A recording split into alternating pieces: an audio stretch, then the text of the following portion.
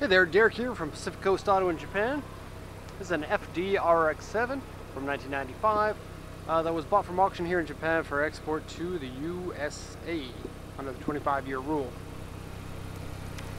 This one's actually quite a bit more interesting than your regular RX-7 and I got a couple of things I got to, well, a whole bunch of things I got to say about it.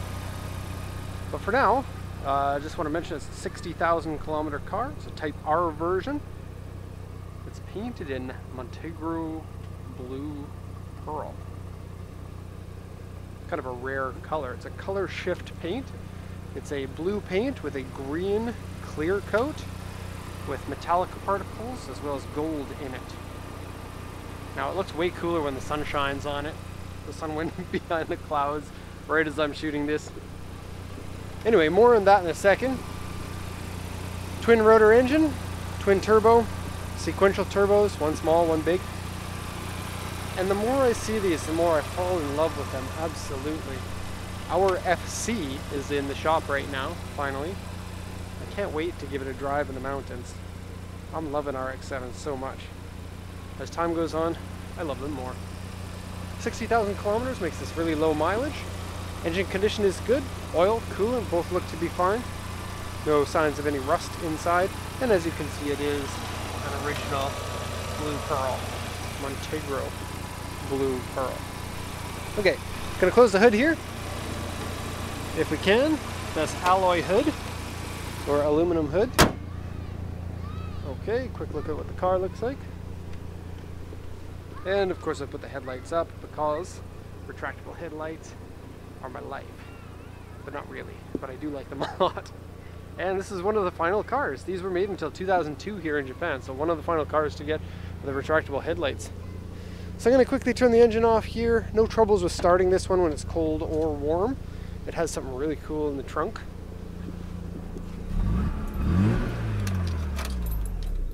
Okay, I'm going to turn it off. I want to give an RX-7 a rev like that just in case.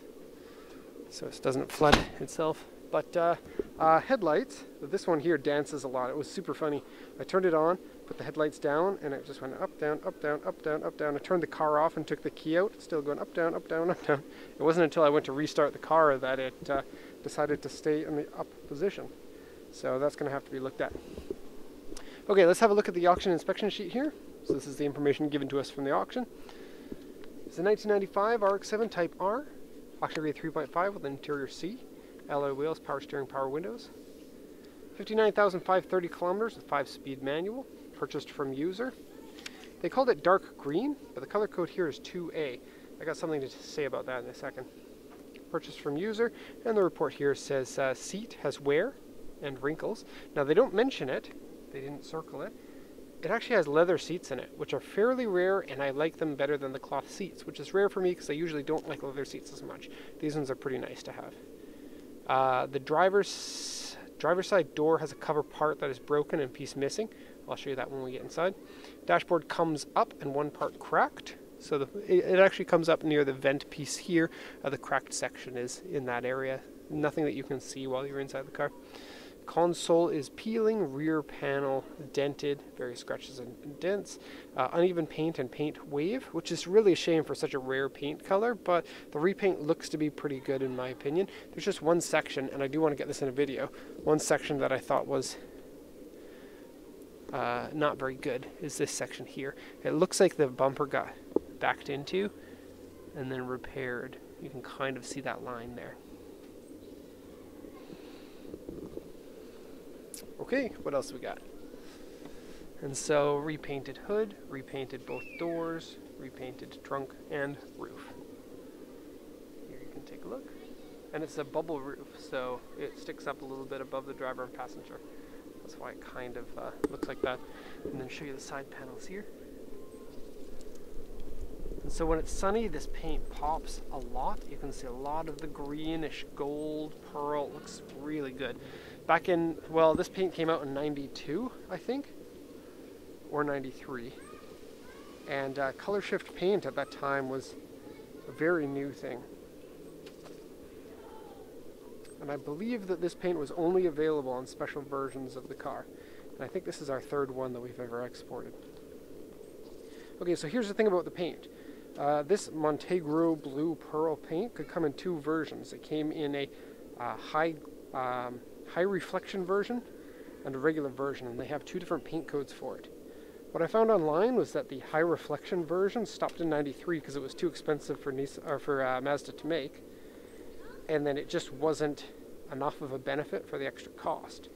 But this one has the paint code for the high reflection version, which is a thicker paint, less likely to get scratched, and has a, uh, a richer color to it. Now it has been repainted, so some of that benefit is going to be lost, but it does make me wonder if in Japan they kept it, whereas in the rest of the world or the US, they maybe ditched that. It is interesting to think of. Now here's another interesting thing, and I'll just show you the paint code. I think it's the regular, hmm, you can kind of see some of the green there.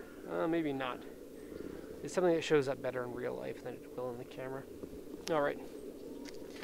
Okay, so in here we got this 2A. Ah, can you see that? 2A is the high gloss immersion.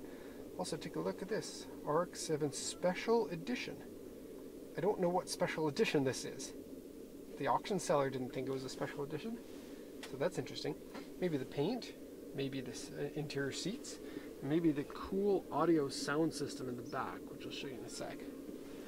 Also, optional hard suspension, which might be Bilstein, because I know that the Miatas of this generation got Bilstein suspension.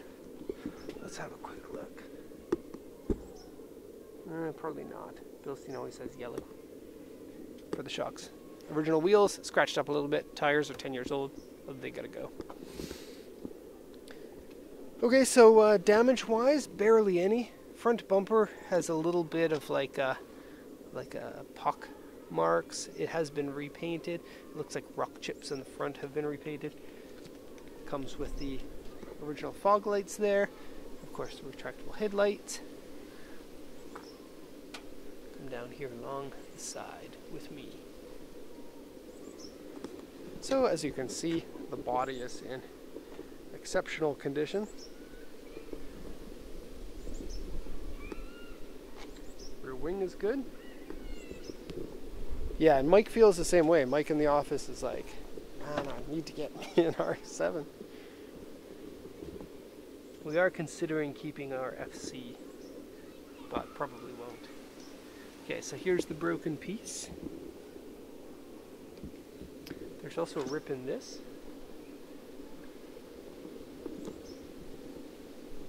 Original steering wheel has very little wear on it.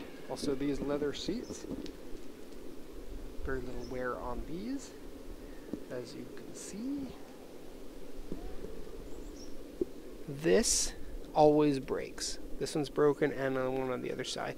It holds the seatbelt in there so you can grab the seatbelt easily as you can see it. Otherwise will fall down behind like that. This one has your standard back seats. And I think it's the same back seat whether you have the leather seats in the front or not. Okay. Steering wheel good. I'll just quickly sit in here. Want to watch the headlight do dancing? There we go. Yeah. if you drive like that, it's like it's uh, winking to you, winking to everybody. And this is the kind of car that uh, can get you the attention that you want without winking at people. So this piece here is broken. Also, it has these pieces here from a cup holder that used to be mounted. This is original Bose sound inside. Very cool. Shifting is good. Engine running condition is good. Here's the peeling on the console. And interior of the FD is cheap. I don't like it. Also this comes up like that. It's cracked at the front.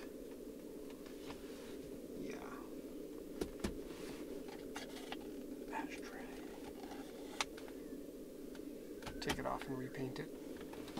Into the back. Missing floor mats. Okay, this is only the second one I've ever seen with this option. You gotta check it out. It's Bose Acoustic Wave Music System.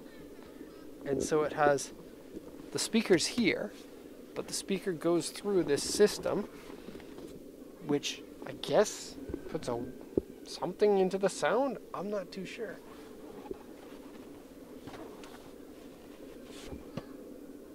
And so I really don't know what it does, but it's very cool that it has that option. Now, the other one that I had didn't have a liner in here. This one here has what looks like the original liner in the back. But if you look down here, it has the proper cutaways in this board for the acoustic sound package. So it is an original item for the car. It's not bolted in. If you want to get the spare tire out, you have to take this out, which looks to be pretty annoying if you're going to be taking the spare tire out.